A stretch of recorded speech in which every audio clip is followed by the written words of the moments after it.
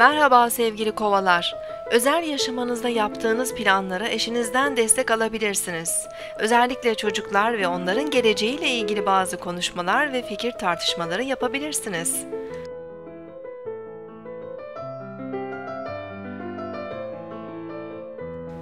Bugün 1 Temmuz 2014 Salı, Mars günündeyiz.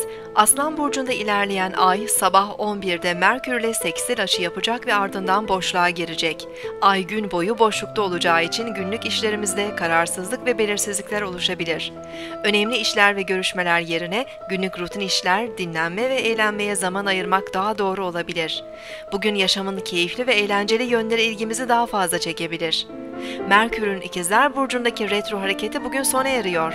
Merkür'ün temsil ettiği iletişim, seyahat, eğitim, ticaretle ilgili konular önümüzdeki günlerde daha hızlı ilerleyebilir.